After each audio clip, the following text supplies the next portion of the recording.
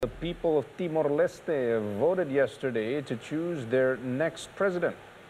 And who will become Timor-Leste's next president? Joining us on Asia Prime tonight, we have Metro Globe Network's Iqbal Himawan, live from Dili, Timor-Leste. Hello, Iqbal. Iqbal, can you please give us the update on the latest information from the ballot counting up to today, Iqbal? So we just got back from the uh, technical committee of the Timor-Leste's presidential election for 2022, and based on the preliminary result, the candidate number one, Jose Ramos Horta, win a landslide victory. I'm going to read you the result. Uh, he's uh, from the latest result. Uh, Jose Ramos Horta gets 62.09 percent or for exact 397,145. Meanwhile, candidate number two, Francisco Guterres Luolo, get 37.91%, or equally 242,440%. This is according to the pre preliminary result published by the election secretariat. Ramos, Alto, Ramos Horta defeated the incumbent Francisco Guterres by 62.09%, just like the first round. And this is his second term in office after he's become president in 2007 to 2012. In the first round, Horta also gets 46% over Lu Olo that gets 22%. And as of 9 p.m., Sarah, all votes from 12 district has been counted. The votes came from a total of 1,200 voting stations, or known locally known as TPS, and this is including nine of uh, overseas voting stations. Sarah. With all the votes um, coming in from all the districts, Iqbal, are there any information on when the final result will be officially announced? So after the votes being counted in the uh, the technical commission, it will be handed out to the uh, election commission for uh, a verification process. It will spend around three days or 72 hours to be verified. Uh, and uh, learning from the first round, there are some reports of around 20,000 uh, votes that you know, got a report that it's not being counted, but after it's being verified from the commission, it turns out that 4,000 is actually uh, have to be counted because uh, it is according to the law and the rule. And then uh, the, the next question is when will uh, the result will be announced?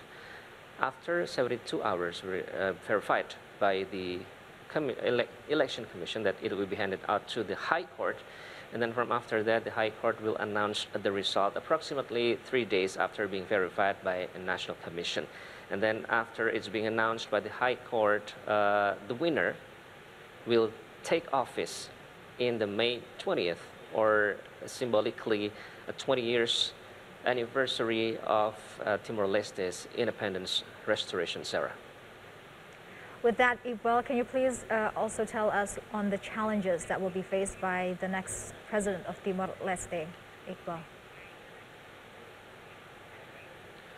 The first one and might, might, be the most important is the political deadlock. As we know, uh, it started uh, between two main parties, as we know, at, between CNRT, uh, uh, political party that founded by the freedom fighter Xanana Gusmao that backed the candidacy of Ramos Horta, and then the other is with Fretilin, who is backed the uh, candidacy of uh, Francisco Guterres or Lu Olo. It all started when CNRT proposed six ministers, and then it got rejected by uh, Francisco Guterres because of the corruption allegation. And since then, uh, the political um, conflict uh, internal political conflict happens between the parliament. And then while Horta gives signal that he might be held earlier parliamentary elections, but this uh, political party that support Francisco Guterres or Lu Olo, namely Fretilin together with PLP and KHUNTO, has reached the agreement to continue their alliance to 2023. And then the second problems that might face the new president, newly elected president, is the budget, because the government has operated without annual budget. It, it might sound weird, but yes, uh, for a few uh, months back, the budget that's being proposed by the government always been rejected by the parliament. So they rely on the sovereign fund savings, or known as petroleum funds.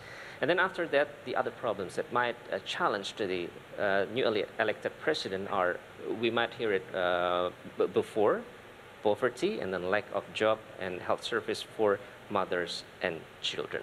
But when I talked to uh, Ramos Horta in his house, he said that he will build communication with the governing parties to restore constitutional mandate and also to prevent more severe economic downturn.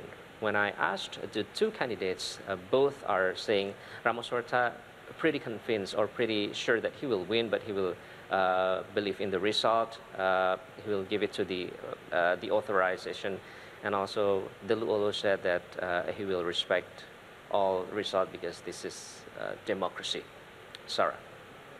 All right, respecting all the results because it is a democracy. Thank you very much, Iqbal Himawan, for your latest update and report from Timor Leste.